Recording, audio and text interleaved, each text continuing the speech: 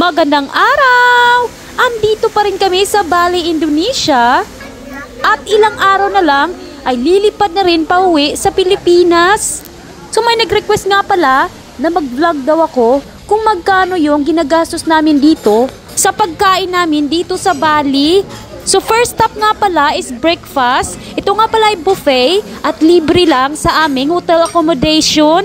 So wala kaming gastos kasi nga libre lang siya. Ang dami nga palang mapagpipilian, breakfast, Balinese, cuisine. Meron ding pang western food, merong pancakes, waffle. Pero nagugustuhan ko talaga yung Balinese food. Similarity kasi sa atin, yung pagkain nila. So around 7 a.m. bumabangon kami at kumakain ng breakfast. So ini-enjoy nga pala namin buong pamilya ang aming bakasyon. Minsan lang kasi makapag-holiday. Hindi naman kapag nasa New Zealand ang daming ginagawa at hindi ka nakakapagpahinga. So deserve na deserve natin ang ating break sa pagluluto ng breakfast, hapunan at saka lunch. Yung mga anak ko naman is wala talagang ganang kumain ng breakfast. Ayan, croissant lang yung kinakain. Si Georgia naman is sausage. Si Silas din is sausage. Ako talaga nag enjoy ako sa fried rice. Napakasarap ng fried rice nila dito. Hindi ko lang kung anong nilalagay nila. So alam nyo ba, napakabait na mga tao dito sa Bali. Sobrang bait na mga Balinese at napaka-anis pa. Pagkatapos nga pala ng mag-breakfast, eh nag-walking muna kami dito sa dagat. Langhap ng fresh air. At syempre, para naman makapag-burn tayo ng kinakain natin, sobrang dami kasi, baka tumaba na tayo nito. Napakaganda nga ng tubig at as you can see, wala na mga basura. Kinuha na ata nilinisan. Pagkasapit nga ng alas 11 ng umaga, eh nag-request na yung mga anak ko, kumain na daw kami ng lunch. Nagpunta nga pala kami dito sa Flapjacks, malapit lang sa hotel kung saan kami nagstay. Dito nga pala mabibili ang napakasarap na waffle at pancakes dito sa Bali. Nagbibenta din sila ng napakasarap na ice creams. Gelato daw sabi. So super excited yung mga anak ko, kakaswimming kasi nila sa swimming pool na gutom. Gustong gusto ng kumain ng lunch at hindi kasi kumain masyado ng breakfast. So nag-order na nga pala kami. Yung mga anak ko naman is naglalaro. Hindi ko na malayan ang sabi ko, i-video ako. In-order nga pala ni Ariana is waffle, pati na rin si Silas waffle din. Si Georgia naman nag-order ng platter. So tinatry talaga naming mag-budget araw-araw para naman at the end of our trip, malayo-layo pa kasi yung bakasyon namin. So mini-make sure namin nakakagasto kami ng ganitong amount lang every day. So, dito naman sa Bali is hindi naman masyado expensive yung mga pagkain nila. Mura naman, depende lang sa restaurant na pinupuntahan mo. So, after few minutes, na-serve na rin yung waffle ni Silas at ni Ariana. Tingnan nyo naman, napakasarap. Kay Mr. naman, nag-order siya ng smoothie bowl. Iniiwasan kasi ni Mr. na kumain ng maraming marami, bad kasi sa health niya. Kaya naman in between, lunch talaga, si Mr. nag-order lang ng light meal. Kami naman, mga bata, ini-enjoy namin yung masasarap na pagkain. Alam nyo ba dito sa Bali, mahilig sila sa maanghang. Lahat ata ng pagkain nila is may spicy. May chili at napakasarap talaga. Alam nyo naman, mahilig din ako sa mga spicy foods. So ito nga pala yung ice cream na binibenta nila dito, gelato. Napakasarap talaga. Dumating na din pala yung in-order ni Georgia na food platter. Meron nga pala itong different chippies, meron ding tinapay, at meron ding quesadillas.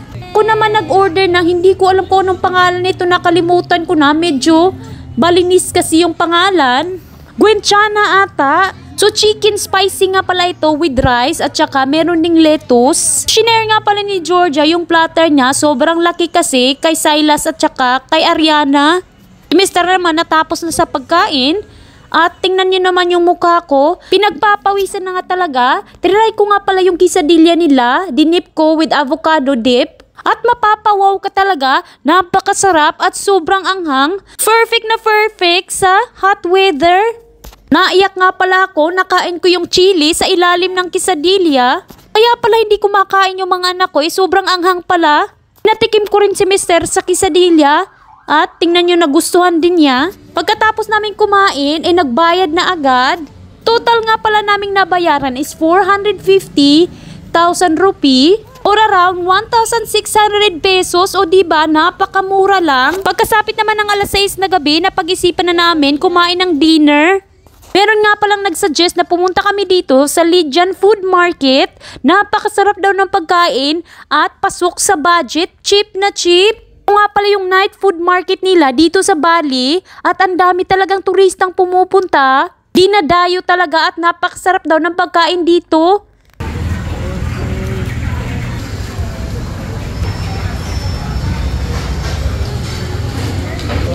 Thank you. We have chicken fingers,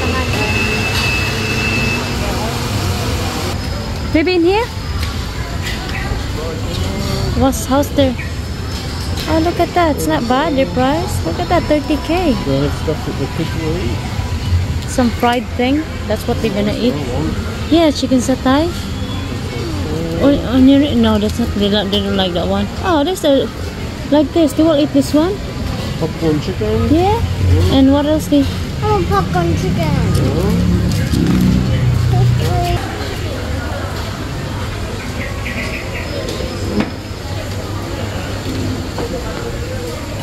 Thank you.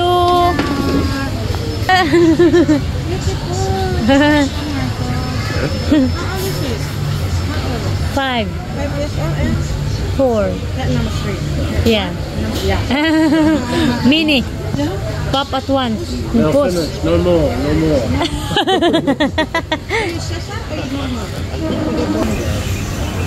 And fish fry.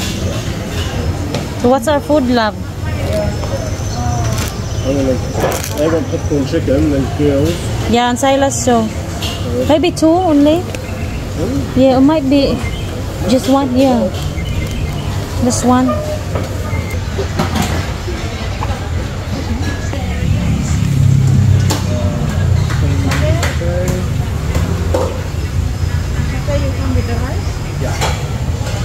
So usually every night, meron silang banda dito pero hindi nga pala namin naabutan. Super early kasi kami. Dumating na nga pala yung food na in-order namin. Yung anak ko nag-order ng chicken popcorn. Kami naman ni Mr. nag-order ng rice, buttered chicken, at saka pak choy. It? So mukhang pagod na nga pala yung anak ko, wala na atang ganang kumain. Nag-snack kasi kami kanina sa pool at kami naman ni Mister nag-i-enjoy talaga sa pagkain ng mga in-order namin na food na Balinese. Napakasarap talaga ng mga pagkain nila, sobrang mag-i-enjoy ka, murang-mura pa. No more leftover. All gone.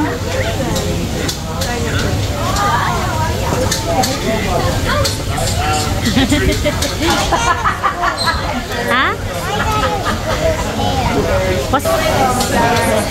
Gotta eat you buy.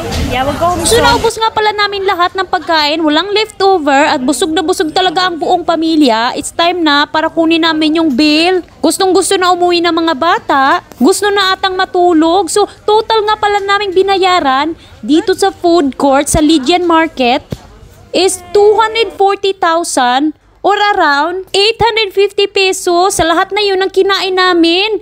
Nakasave talaga kami ng bonggang-bongga at nagpunta kami dito sa food court. Pagkatapos namin kumain, nag-book na agad ng Grab at sobrang traffic na. So guys, thank you for watching this video. I hope nag-enjoy kayo at sa susunod naman na vlog. Bye!